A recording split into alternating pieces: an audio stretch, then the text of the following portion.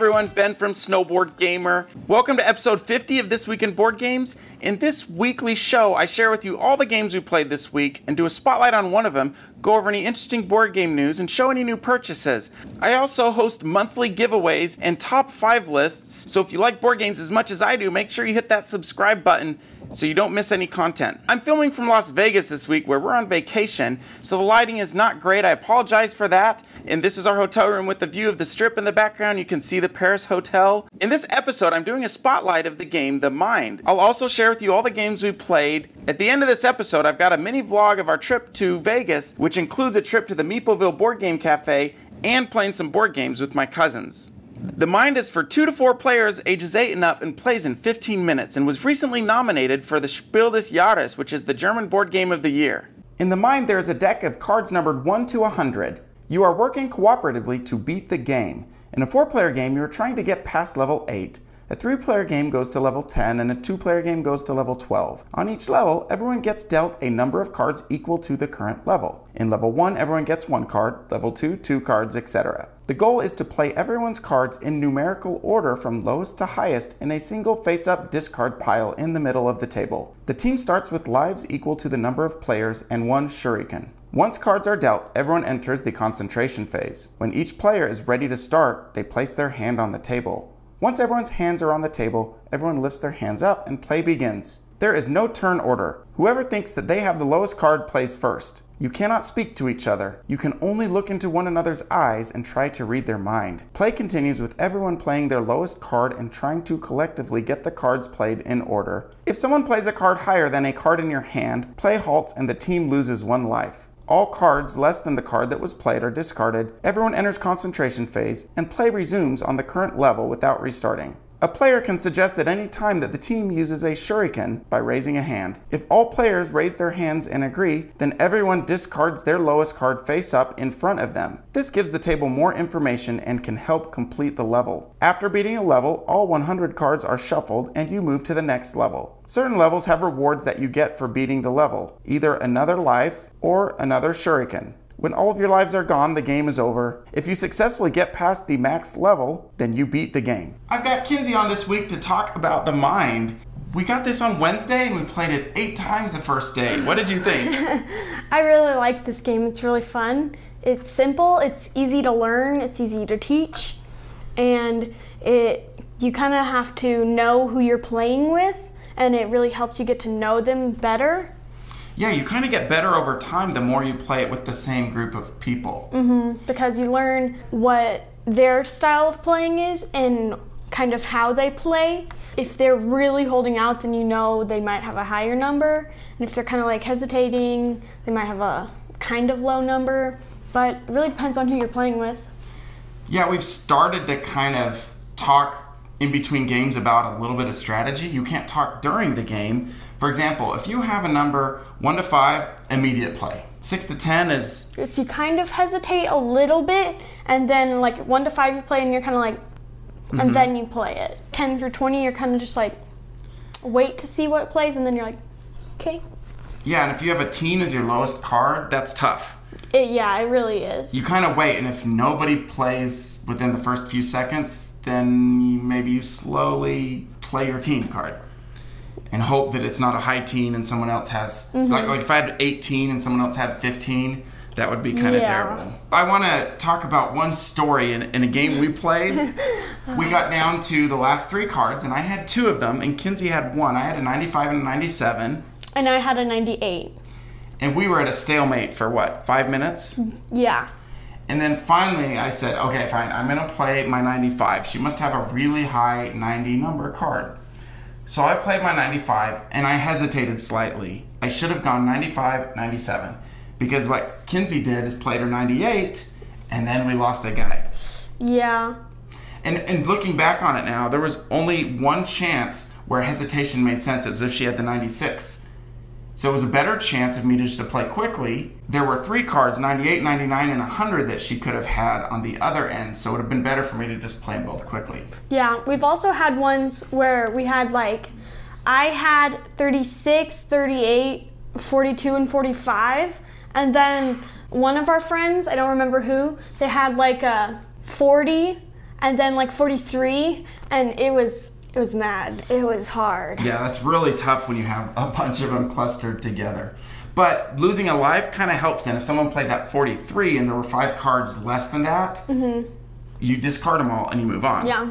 So the, the shurikens, I, I don't think we've used these enough. Yeah, I think we've kind of underestimated them. We're just, they're like there, but then we forget that they're there, and then we don't use them, and then when we do use them, it's like, we need to use these more often. Yeah, it stinks when you lose the game and you're sitting there with one or two shurikens and you're thinking, ah, we should have used those. Yeah. All right, any negatives, Kinsey? Um, I would say that it's just kind of hard. It is hard. 20 times we've played this game, and we've never beat it once. I think the max level we got to is six in a four player game. Yeah. Who do you think this game is for and who do you think it's not for? Hmm. I think this is for people who are like into more of the light, quick, easier games.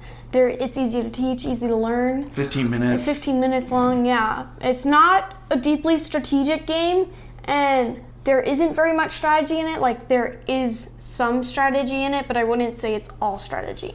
I guess one negative would be you can get a bad deal where mm-hmm. Kinsey said that all the cards are close together and it's just difficult.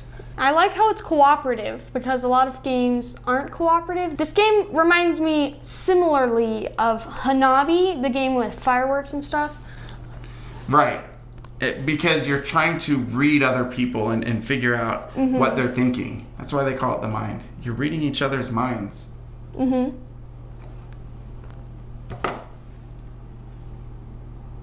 You're thinking lettuce. Burger lettuce. All right. Well, thanks for coming. Thanks for coming on, Kinsey. Yeah. I hope you enjoyed that spotlight. Let's get right into all the games we played this week. We played a lot, nine different games. Six of them were new to me. What I'm gonna do is rapid fire 30 seconds on each one. First, we played Abraca. What? This is for two to five players, ages eight and up, and plays in 20 to 30 minutes. My cousins taught me this game. You're a wizard trying to cast spells, and everyone has five different spells in front of them, but you can't see what they are, and you can see everyone else's at the table. And on your turn, you try and cast a spell, and if you actually have it, then the spell goes through. If you don't, you lose some life. Fourth of July, we're hanging out with my cousins and teaching us what game, Will? Abracada what? No, what's it called? Abracada what? There you go. Okay, we're gonna do Will's turn. Night Singer. Oh my gosh, you have it!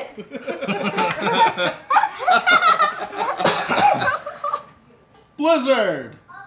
Ew. I'm gonna go with Night Singer. Yes. Four. Got it. Whew.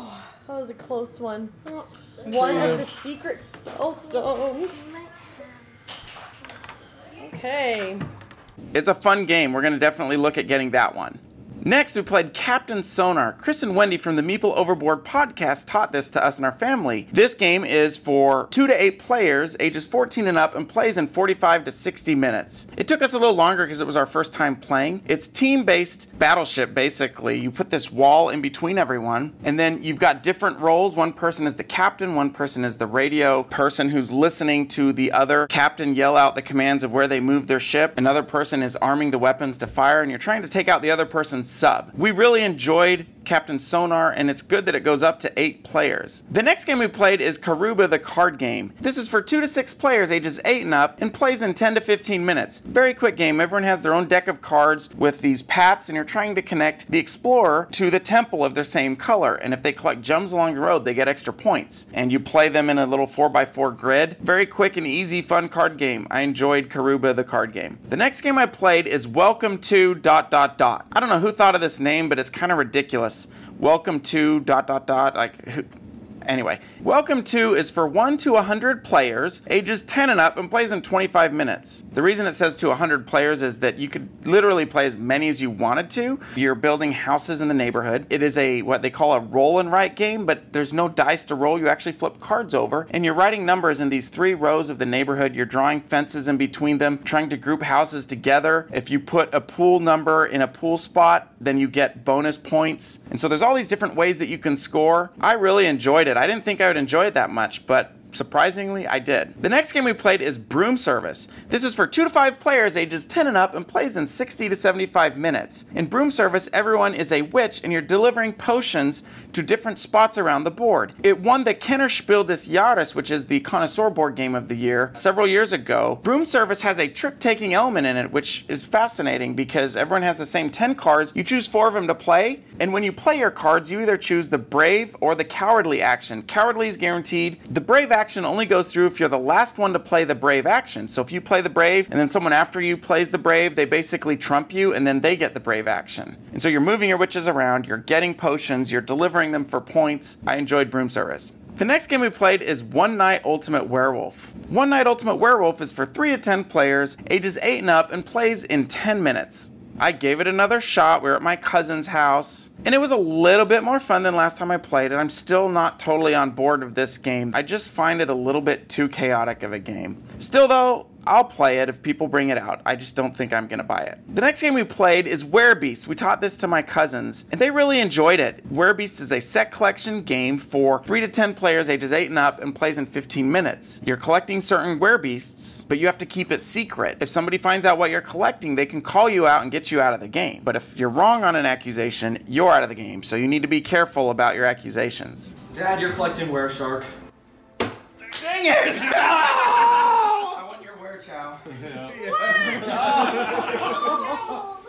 The seven year old won both games of Werebeast. She was super coy, started collecting the Were Kittens. Everyone thought she was collecting Were Kittens, and she wasn't. That was really fun to see a seven year old work the whole table, including five adults.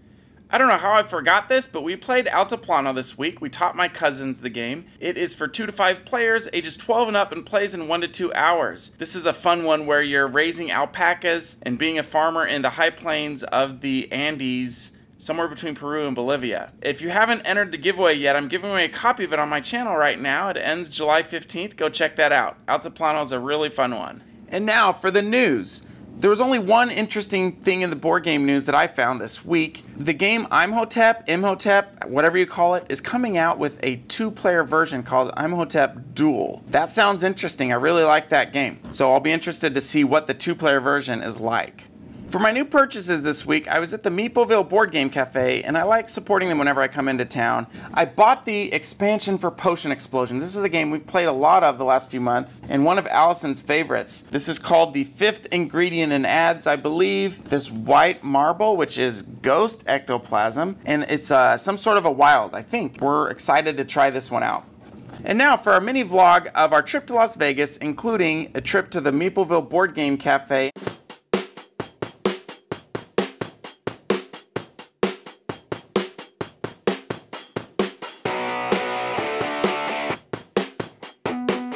We are in Vegas for the week of July 4th, staying at the Cosmopolitan. I wore my blue shirt because we're going to see Blue Man Group tonight. You're gonna wear your blue shirt to a blue... Yeah, my blue shirt for Blue Man Group. Let's go. I'm gonna start calling you Tobias. We are in the Luxor about to go see Blue Man Group, and I wore my blue shirt.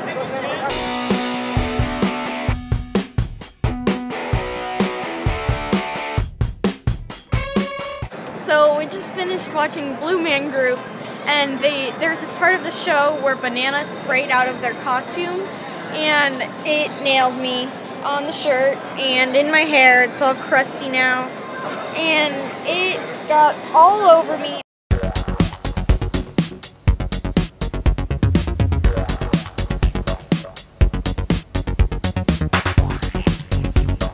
First stop today, the Bellagio.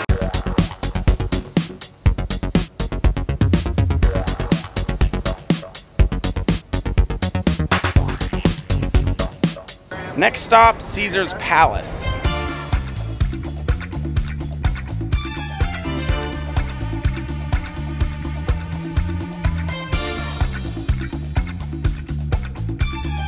Next up, the Flamingo.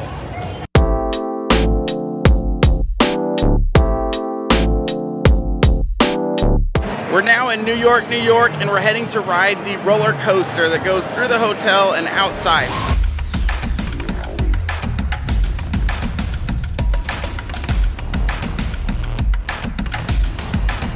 Next stop, the Venetian.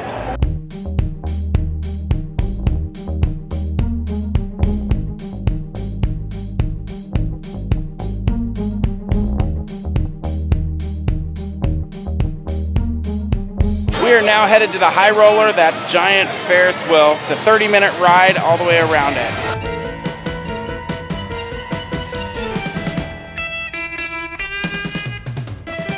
Are on the High Roller, almost to the top, 550 feet above the Vegas Strip. Check it out.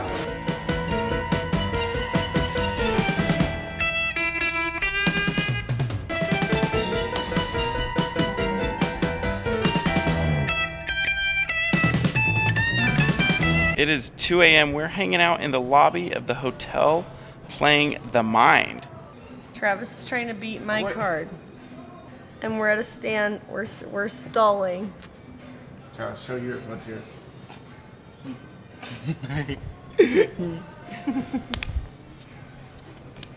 Oh my gosh. oh my gosh. We're now at the Meepleville Board Game Cafe. It's about 15 minutes off the strip. We're gonna go inside. They have over 2,000 games. Let's go check it out.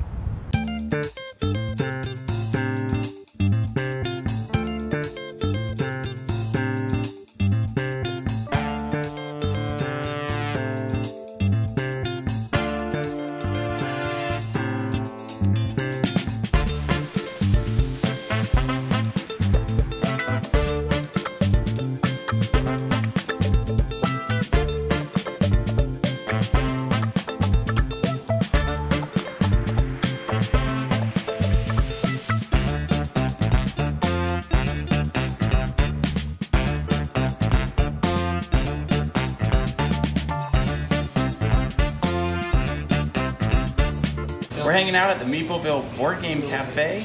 We've got Chris and Wendy. Introduce yourself, guys. Giuseppe. We uh, so Chris and Wendy taught us Captain Sonar first. That was a lot of fun. Kind of like Battleship, but team-based, where you're chasing each other's submarine, trying to uh, destroy it. And then we played Karuba, the card game. Yep. Is that right? We played uh, six-player with that. And then with Giuseppe and Summer, they taught us Welcome to Your Perfect Home. Both of them have an online presence. Check out Chris and Wendy. They do a great job with their podcast. Why don't you uh, say a little bit about it? It's called Meeple Overboard. It's a 30 minute podcast we do every Saturday Yep, and you can check us out on Instagram. and Twitter. Awesome. I'll put links down below. And Giuseppe? You can follow us on Instagram at Board Game Diner, where we post all our board games that we play. Awesome. While we were sitting in the hotel room here, I thought of a joke, so I figured I'd share it with you. What do you call it when a T Rex falls asleep at the wheel? Dinosaurus Rex. Dumb. My family's cracking up over there. They think it's really hilarious. No, we don't. No, we don't. We definitely don't. Actually, they're making fun of me. True story. Get it, Kinsey? Like he wrecks his car? That is it for this week in board games. Thanks for watching, everyone. What games are you playing? Also, are there any games you would like to see me spotlight? Leave that in the comments below. I hope you enjoyed this episode, and we'll see you next week. Thanks, guys. Bye.